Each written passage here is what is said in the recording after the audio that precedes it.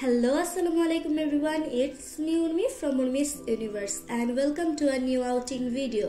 আশা করি যে যেখানে আছো সবাই আল্লাহর রহমতে অনেক ভালো আছো আর আমরাও আলহামদুলিল্লাহ অনেক ভালো আছি। আর আজকের ভিডিওটাতে হচ্ছে আমি তোমাদের সবার সাথে শেয়ার করব। লাস্ট ফ্রাইডেতে কোনো প্ল্যানিং ছাড়াই কোথায় ঘুরতে গিয়েছিলাম অ্যান্ড কী কী করেছি। আর আই হোপ তোমাদের সবার কাছে ভিডিওটা ভালো লাগবে। সো চলো আর কথা না বাড়িয়ে লেটস স্টার্ট দ্য ভিডিও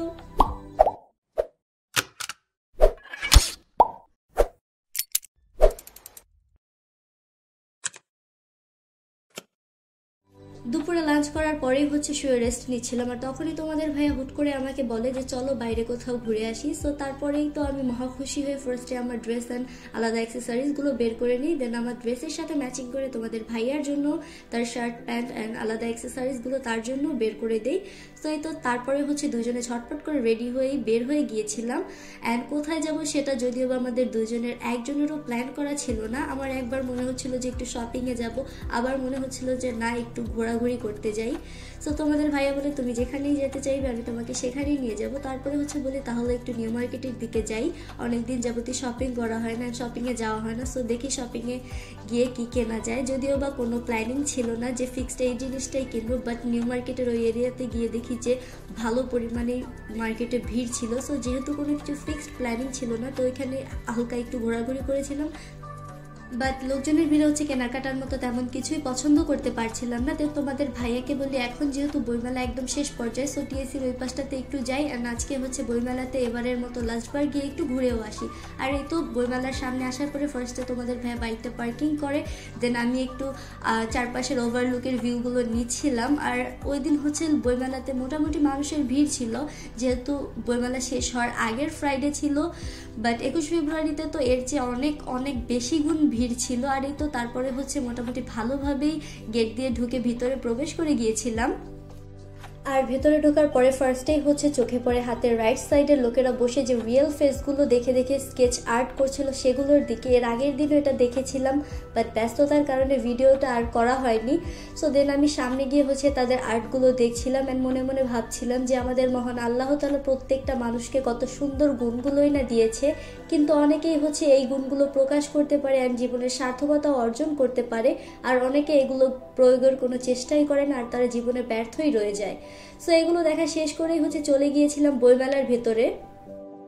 যেহেতু এর আগের বার যখন গিয়েছিলাম, সেদিন হচ্ছে ব্যস্ততার কারণে হচ্ছে মানুষের ভিড়ে হাতের রাইট সাইডের যে স্টলগুলো সেই পাশটাতেই বেশি ঘোরা হয়েছিল। লেফট পাশের এই স্টলগুলোর দিকে ঘোরা হয়নি। তো সেদিন ফার্স্টেই হচ্ছে চলে গিয়েছিলাম হাতের রাইট সাইডের স্টলগুলোর দিকে। আর যেতে যেতে চোখে পড়ে হচ্ছে আকাশ নামের বাঁশের বেড়া দিয়ে বানানো তাদের এই লাইটিং করা স্টলটার দিকে। আর এখানে মানুষের ছবি তোলার এত পরিমাণে ভিড় ছিল আর স্টলটাতে অনেক ভিড় ছিল। সো সেটা থেকে তোমাদের ভাইয়া যেটা বলে, সেটা তোমাদেরকে অরিজিনাল সাউন্ডটাই শোনাচ্ছি। মানুষের নাটক। বেড়ার ঘরে থাকতে চায় না, বেড়ার ঘরের সামনে ফটো তোলার লিগা পাগল। শুনতে যদিও বা কথাটা একটু করা লাগে বাট কথাটা কিন্তু হান্ড্রেড পার্সেন্ট সত্যি। সো যাই হোক, বাস্তবতাবাদী কথাটা না হয় একটু বাদই দেই। তারপরে হাঁটতে হাঁটতে হচ্ছে চলে গিয়েছিলাম লেকের ওই পাশটাতে। আর ওইখানে গিয়ে হচ্ছে আমরা দুইজনে বেশ কিছু ছবি তুলেছিলাম। দেন ওই পাশে ছবি তোলা শেষ করেই হচ্ছে চলে গিয়েছিলাম। আদিত্য অনেক প্রকাশনী নামের শিশুদের যে বইয়ের স্টলটা ওই পাশটাতে। আর এই স্টলটাতে প্রায় ভালোই লোকজনের ভিড় ছিল কজ এখানে হচ্ছে শিশুদের যে বিভিন্ন ধরনের ফেমাস গল্পের বই সেগুলো ছিল, যেমন সিন্ড্রেলা, স্নো হোয়াইট, আলাদিন, ঠাকুমার ঝুলি, এই টাইপের আরও বিভিন্ন প্রকারের গল্পের বই ছিল অ্যান্ড এই স্টলটাতে বইয়ের প্রাইসও আমি বেশ রিজনেবলি দেখেছিলাম, আর এখানে আরও বিভিন্ন স্টল ঘুরে ঘুরে দেখছিলাম, আর আমরা দুজনে বেশ কিছু ছবিও তুলেছিলাম বই নিয়ে সো সেগুলো তোমাদের সাথে একটা একটা করে শেয়ার করে দিলাম।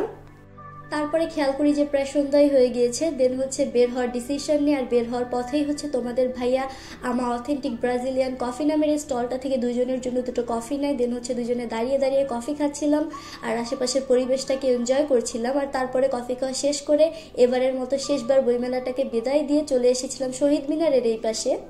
আর ওই পাশটাতে যাওয়ার পরে দেখি হচ্ছে শহীদ মিনারের সামনে একটা অনুষ্ঠান হচ্ছিল, যেখানে ছোট ছোট বাচ্চাদেরকে প্রাইজ দিচ্ছিল। দেন দুইজনে দাঁড়িয়ে হচ্ছে অনুষ্ঠান দেখছিলাম।